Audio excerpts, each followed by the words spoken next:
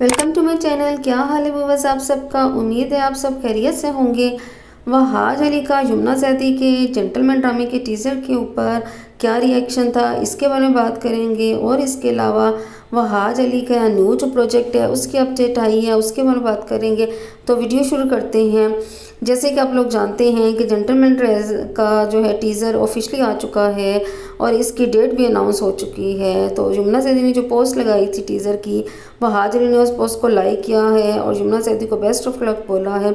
जैसे कि जब भी कोई इस तरह का इवेंट होता है तो यमुना सैदी को वह हाजरी बेस्ट ऑफ़ लक बोलते हैं और या फिर हार्ट बना के जो है लाइक करते हैं उनकी पोस्ट तो इस इस दफ़ा भी जो है वह हाजरी ने जो है उनकी पोस्ट को लाइक किया है।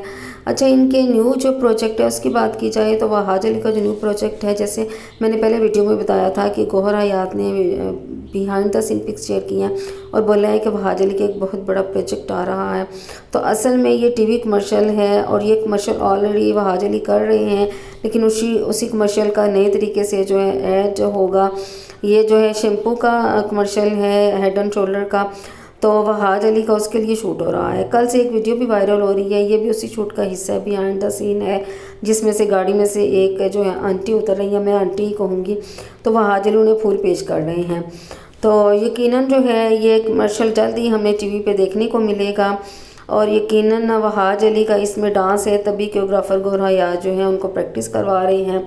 तो जल्द ही ये हमें नज़र आएगा इनका डांस भी। अगर आपको वीडियो अच्छी लगी हो तो लाइक करें और शेयर करें।